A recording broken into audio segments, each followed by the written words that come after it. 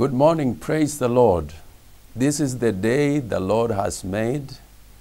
We shall rejoice and be glad in it. We thank God for giving us a beautiful day. And I believe that you will make the best out of this day. My name is Reverend Brown Chavaseki, and I believe the Lord has given me a message for you this morning as you start your day.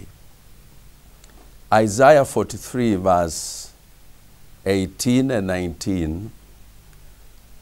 Um, I am going to share about uh, keys for a new beginning.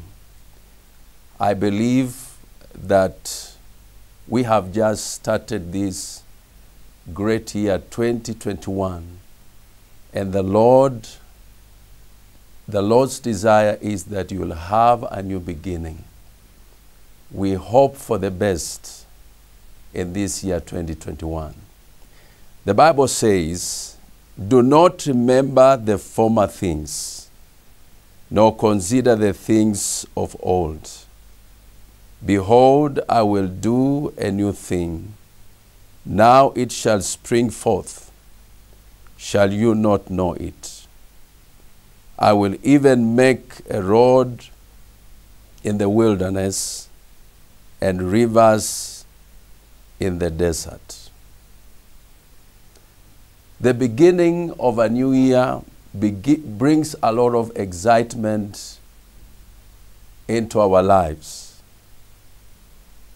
When you begin a new day, you are excited because you are hoping for the best. The birth of a new child in a home brings a lot of excitement.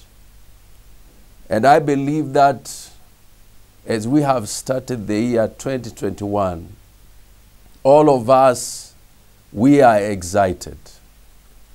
I know that for the last few months, the entire world has been going through challenging times, times that have been very hard for most people. But my prayer is that you will be positive in your life and look into the future with excitement and hope, and especially when you start your day like today. I believe that the end of this year is going to be exciting. We are going to have things we can look back and celebrate. This word came from Isaiah to encourage the people. Do not remember the former things, nor consider the things of old. God is doing a new thing. We serve a God of possibilities. We serve a God who is able to help us and bring us to a place of a new beginning. Something new, it is something that has never existed before. It is something that has recently been made. It is something that has been recently been invented or introduced, or something you have bought recently, something that has never been used before, something that has never been owned by no one. I believe, my dear viewer, that your future is better than the past. Isaiah brings this word very powerfully that your previous years they are going to be different from the year you have just started 2021 god is about to do a new thing. You have gone through a lot of difficulties. I know 2020 was a difficult year. And all of us, We can attest to that. But I believe in these difficulties we have faced and challenging times, God has been at work in our lives. Our challenges have been building up to something. I believe that will bring praise and glory to God. There is a Cameroonian proverb that says, The smoke that comes from a mother's kitchen is not meant to hurt the eyes of the child, but to prepare food. The child may cough, the child may cry, the child may scratch their eyes, but by the end of the day, food will be on the table. I believe the challenges we have gone through and what you are going through even now is preparing you for great victory, is preparing you for great things. By the end of the day, you are going to have a testimony. Because the Lord is doing a new thing. And what the Lord is doing, you may not know it. Human beings, we are limited in many ways. We don't see what God sees. Because we are human and we are weak. But these words comes very powerfully this morning to encourage you. Some of the things God will do in your life, you have no idea about them. But as you continue to trust in Him, as you continue to look unto Him, you realize that all that you have been going through, God has, has been at work. Do not remember the former things. I am doing a new thing. What we have gone through, I believe God has been using this process to complete us, to break us, and to make us. It is said that, you know, the, the, the strongest faith, it is made in the most difficult times. When we go through difficult times, and when we look unto God, our challenges gives us an opportunity to produce the strongest faith. And my prayer is that as you begin this morning, you will look back and look into the future, knowing that the best is yet to come. And your challenges can make you to be a giant of faith. The Bible says, Now it shall spring forth. Shall you not know it?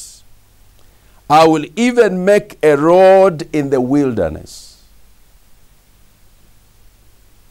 and rivers in the desert. Wilderness is a difficult place. There is no road in the wilderness. It's a place that has stones and shrubs. There is no way you can find your way in the wilderness. But the Lord is saying in the wilderness, He's going to make a road. is going to clear the wilderness for you to pass there. And He's making a road that no one has used it before. A new place, a new road. The path you are about to walk on, they are path you've never walked before. But what encourages me and you this morning is that God knows our future. God knows where we will be tomorrow. Where you are not seeing a way, God is going to clear the path for you. A place that you've never walked is going to connect you to people whom you've never been connected before.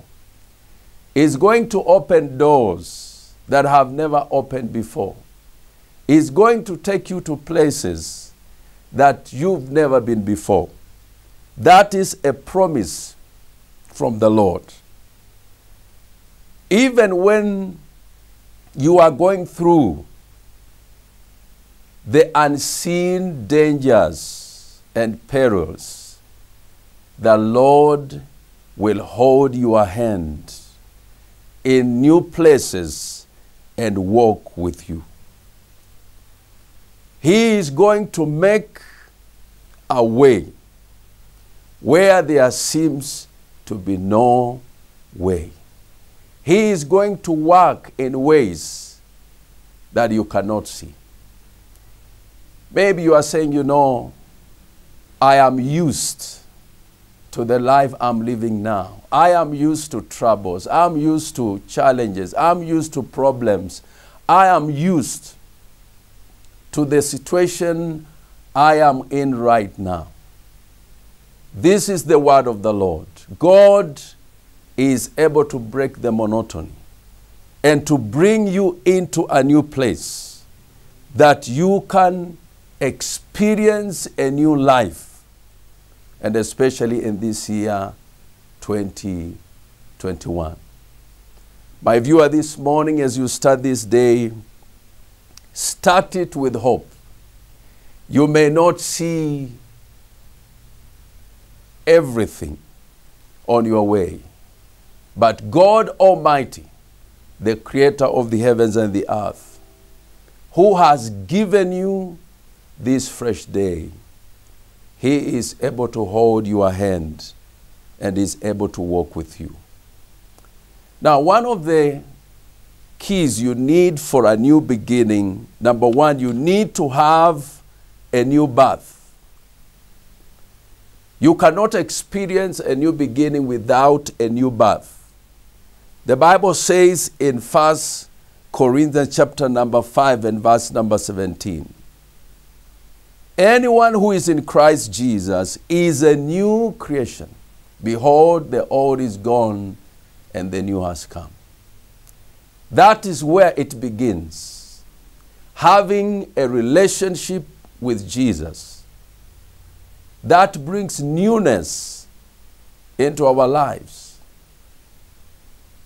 You know, when we are beginning a new year like 2021, people get excited and they go into churches and they sing Happy New Year, Happy New Year, Happy New Year. There is joy and excitement all over the place and a lot of celebration. But we cannot experience true newness without a new birth. My prayer is that this morning you will look unto Jesus, the author and the finisher of your faith. And if you've not received him as Lord and Savior, you will open your heart to receive him today as you begin this new day. May the Lord bless you. May the Lord keep you. As you begin this day, I pray you will experience the new birth. Let us pray. Our dear loving Father, in the name of Jesus, we thank you and we honor you and we bless you today. Thank you for my viewer, even as, they, as he begins this day. Lord, we pray that there will be newness in their lives.